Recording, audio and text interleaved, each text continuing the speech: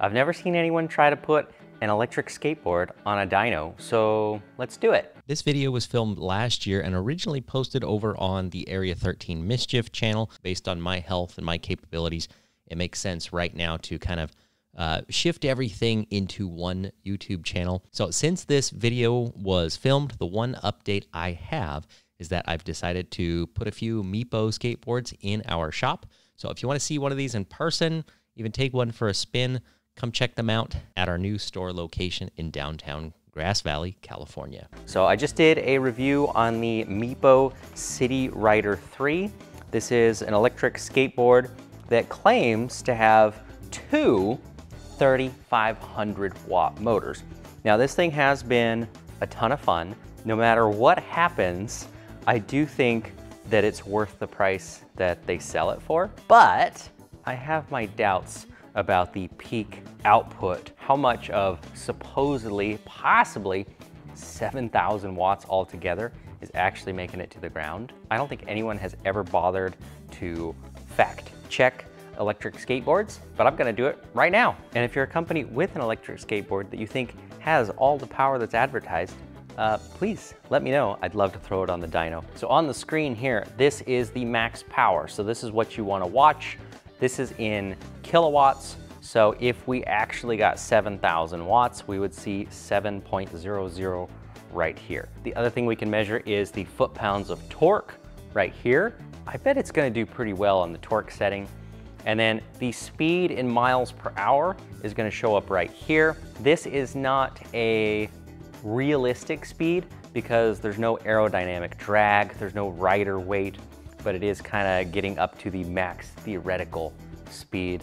Uh, and this one over here, that's just the RPM of the drum itself. Now I hope this is gonna work. Before I turned on the camera, I tried a few different methods of strapping this thing down and uh, basically the skateboard kept trying to fly off in various directions. So I think I've got it right, but I haven't actually run it up all the way. The battery is fully charged. I just pulled it off the charger before throwing it on here. This has four power settings. So I've got it cranked up all the way to the max and I'm just gonna roll the throttle on. We'll see what happens. And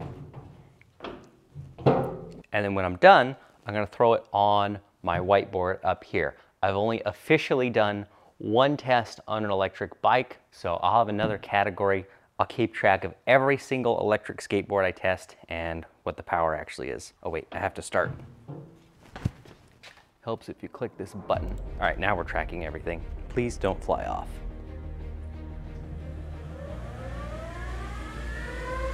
Oh, the torque is awesome. That's a lot of torque.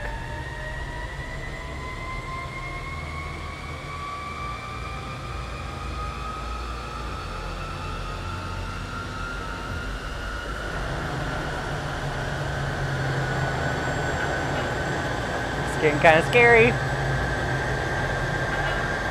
Gonna run it all the way through.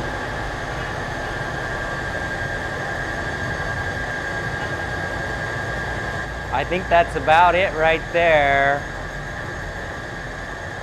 The RPM stands steady at 633, 634, and it's not increasing, so that's it.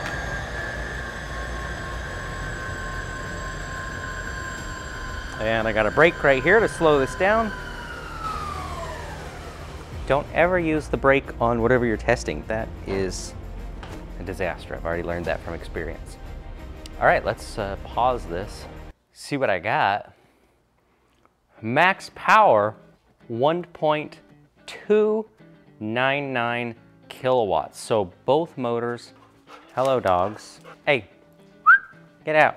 So I was hoping for a bit more on the kilowatts, 1.299. We might as well just say 1.3. So that's about 1300 watts maximum. So they do rate the motors at 3,500 watts each. My guess is maybe the motors are actually capable of that peak power, but either the controller or the battery just doesn't feed that much power to the motors. So I guess the good way to look at that is your motors should never burn up. They should be running very cool all the time. But if you think you're getting something that's gonna have 7,000 watts of power or anywhere close to it at the wheels.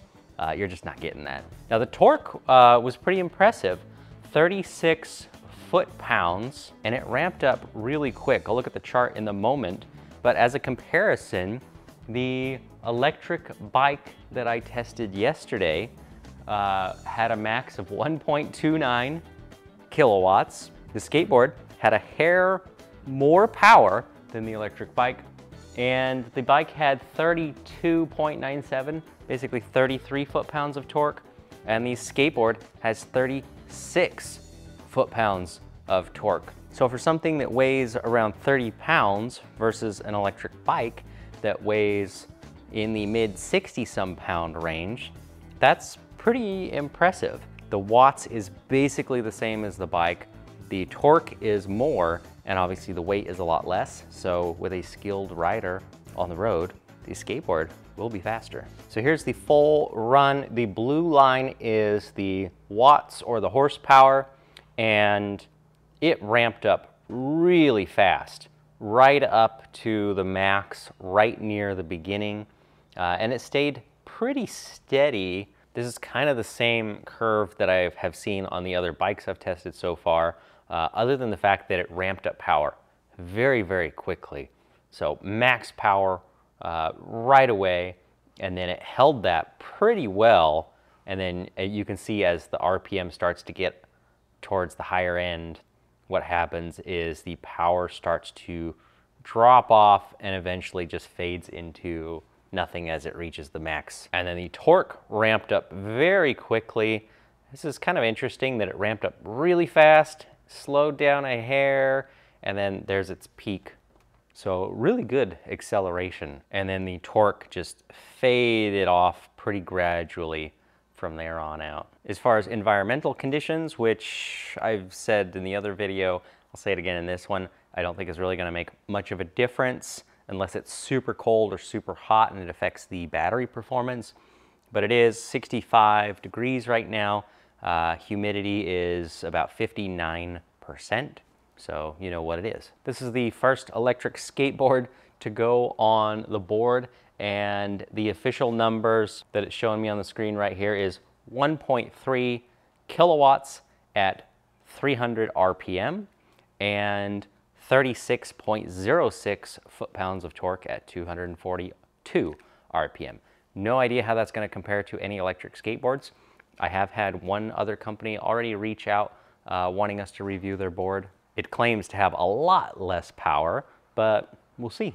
Now because the RPM is the RPM of the drum and not the wheel or the tire that's on whatever I'm testing, I can easily directly compare different things, whether it's a bicycle, motorcycle, skateboard. So if we were comparing miles per hour and how fast these were going, the Blackbird bike I tested yesterday hit the peak wattage at 423 RPM and the skateboard hit the peak wattage much earlier at 300 RPM.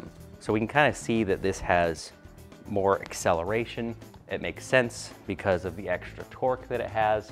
Now the torque uh, was within 5 RPM, so that's pretty interesting uh, that they basically hit their max torque at almost the same speed. I wasn't expecting these to be even remotely close to each other. The edge is gonna go to the skateboard in this case, if you want to see more dyno tests on other electric vehicles, it could be skateboards, scooters, electric motorcycles, bicycles. I've got some custom builds I'm working on I'm certainly going to use this dyno for.